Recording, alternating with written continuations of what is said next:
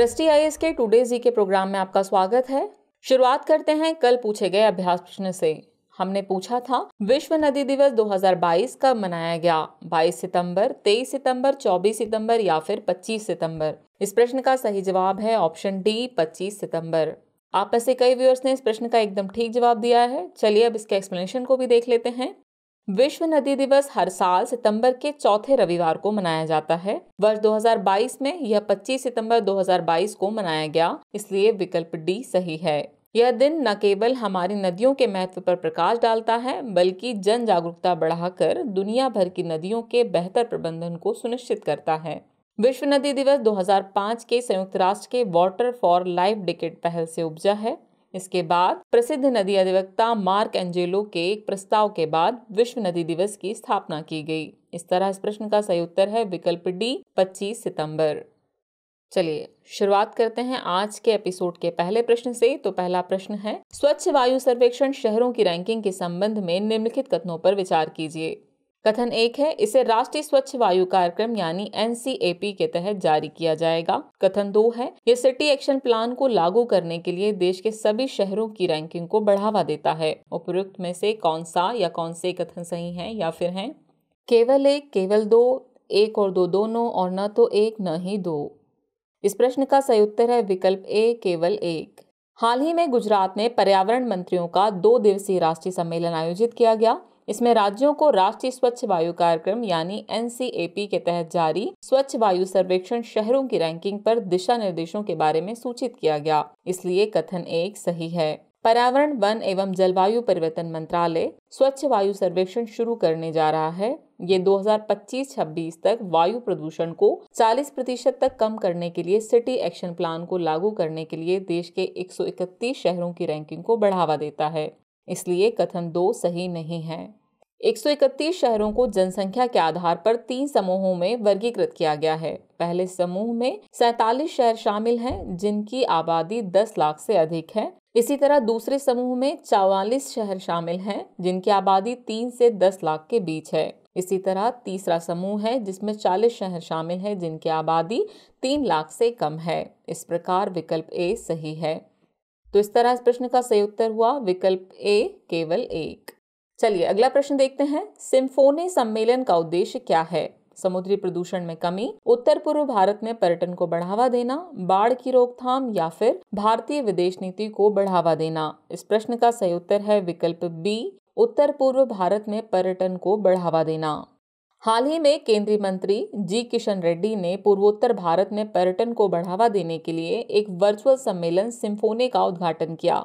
इसलिए विकल्प बी सही है। इस वर्चुअल सम्मेलन का आयोजन पूर्वोत्तर क्षेत्र विकास मंत्रालय द्वारा विश्व पर्यटन दिवस के अवसर पर किया जा रहा है। यह पूर्वोत्तर क्षेत्र विकास सम्मेलन के लिए संवादों की एक श्रृंखला की शुरुआत है, जिसमें नीति निर्माताओं, हितधारकों और प्रभावशाली लोगों की एक व्यापक श्रृंखला को शामिल किया गया है। इस सम्मेलन का उद्देश्य पर्यटकों और टूर ऑपरेटरों के सामने आने वाली सभी बाधाओं को दूर करने के लिए वन स्टॉप समाधान विकसित करना है। इस तरह इस प्रश्न का सही उत्तर है विकल्प बी, उत्तर पूर्व भारत में पर्यटन को बढ़ावा देना।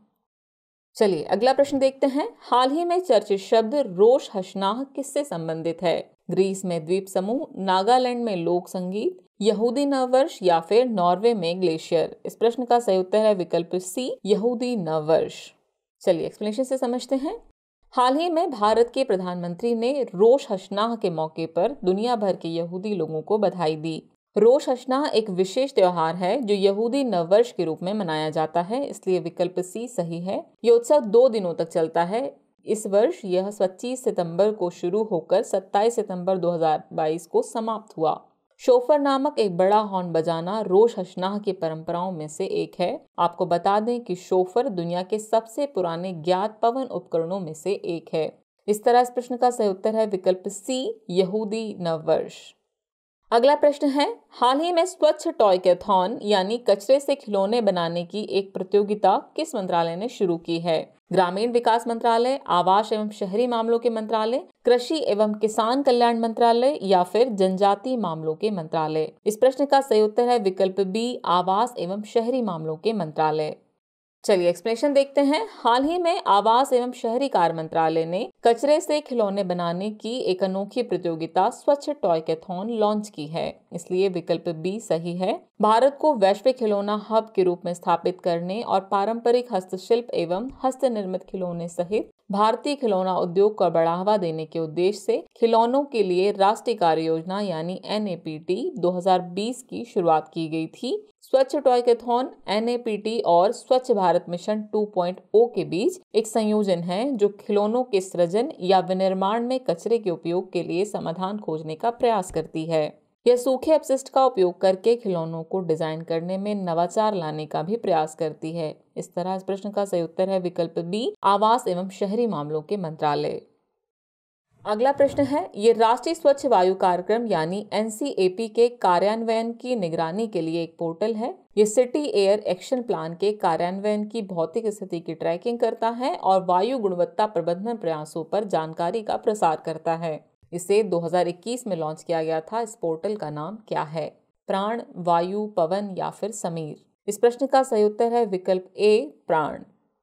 चलिए एक्सप्लेनेशन से समझते हैं। प्राण, राष्ट्रीय स्वच्छ वायु कार्यक्रम यानी एनसीएपी के कार्यान्वयन की निगरानी के लिए एक पोर्टल है। प्राण का पूरा नाम portal for regulation of air pollution in non attainment cities है।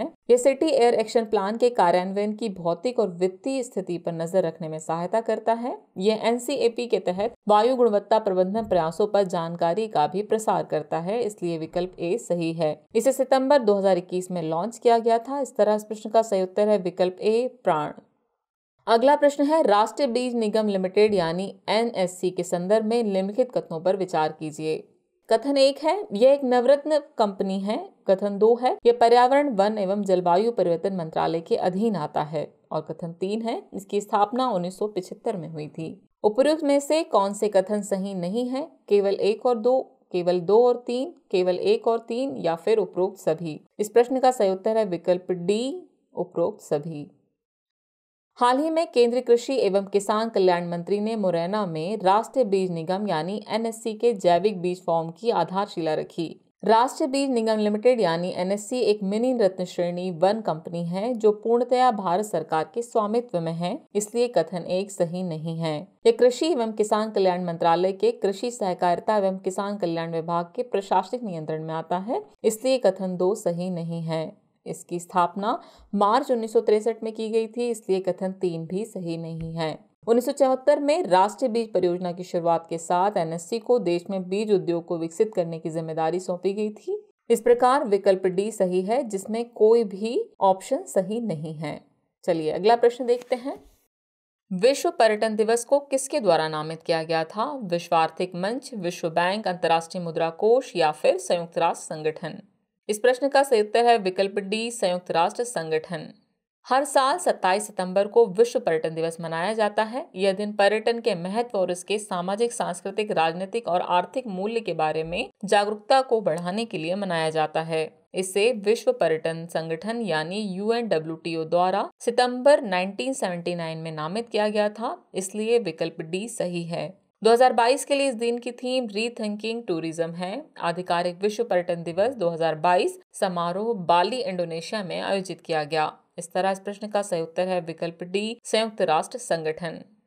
अगला प्रश्न है, यह त्यौहार तेलंगाना की सांस्कृतिक पहचान का प्रतीक है। यह महिलाओं द्वारा फूलों के साथ मनाया जाता है। यह मानसून के उत्तरार्ध के दौरान सर्दियों की शुरुआत से पहले आता है। यह कौन सा त्यौहार है? बुनालू, बथुकम्मा, उगादी या फिर पीरला पांडुंगा? इस प्रश्न का सही उत्तर है विकल्प बी, बथुकम्मा।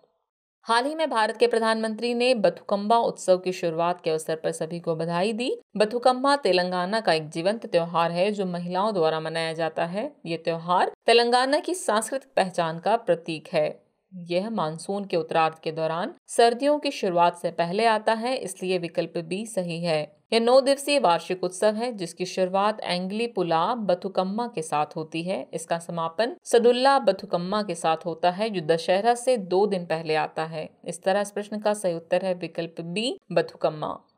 अगला प्रश्न है, अंतरिक्ष और प्रौद्योगिकियों के संदर्भ में एंजेनुइटी का सबसे अच्छा वर्णन करता है। चिली में स्थित टेलीस्कोप, क्विपर बेल्ट में पाया गया शुद्र ग्रह, गोल्डी लॉक्स जोन में एक्सोप्लेनेट या फिर मार्स हेलीकॉप्टर।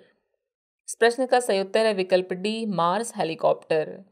हाल ही में मार्स हेलीकॉप्टर एंजेनुइटी ने मंगल ग्रह पर एक और उड़ान भरी, इसलिए विकल्प डी सही है। एंजेनुइटी मंगल ग्रह पर उड़ान भरने वाला पहला हेलीकॉप्टर है। इसे नासा के परसिवरेंस रोवर द्वारा ले जाया गया, जिसे जुलाई 2020 में लॉन्च किया गया था। यह काउंटर रोटेटिंग ब्लेड का उपयोग करके उड़ने में सक्षम है, जो लगभग 2400 आरपीएम यानी रोटेशन पर मिनट की गति से स्पिन करता है। इसका मुख्य काम मंगल ग्रह पर पहली उड़ान का परीक्षण करने के लिए एक तकनीक का प्रदर्शन करना है। इस तरह इस प्रश्न का सही उत्तर है विकल्प डी, मार्स हेलीकॉप्टर। चलिए अब एपिसोड का आखिरी प्रश्न देखते हैं। राजस्थान के गागरोन किले के बाहर किस सूफी संत का मकबरा स्थित है? अखुंड दरवेजा, नूर कुतुब आलम, मीठे शाह या फिर यूज़ असफ। इस प्रश्न का सही उत्तर है विकल्प सी, मीठे शाह। चलिए एक्सप्लेनेशन देखते हैं। गागरोन किला राजस्थान राज्य के झालावाड़ में स्थित है। ये यूनेस्को की विश्व धरोहर स्थल सूची में शामिल। राजस्थान के छह पहाड़ी किलों में से एक है। यह किला आहू, काली और सिंध नदियों के जल से घिरा हुआ है। किले के बाहर सूफी संत मीठे शाह का मकबरा है, जहाँ मोहर्रम के दौरान एक वार्षिक मेला आयोजित किया जाता है। इसलिए विकल्प सी सही है। इस तरह इस प्रश्न का सही उत्तर है विकल्प सी मीठे शाह। चलिए, अब आज के एपिसोड के अभ्यास प्रश्न को देख लेते हैं। हाल ही में चर्चित शब्द मांकडिंग किस खेल से संबंधित है? आपके ऑप्शन हैं option A hockey option B football option C cricket या फिर ऑप्शन डी टेनिस तो व्यूअर्स इस प्रश्न का जवाब कमेंट बॉक्स में देना न भूलें। जल्दी मिलते हैं नए एपिसोड में, नए सवालों और उनके नए जवाबों के साथ। तब तक के लिए शुक्रिया।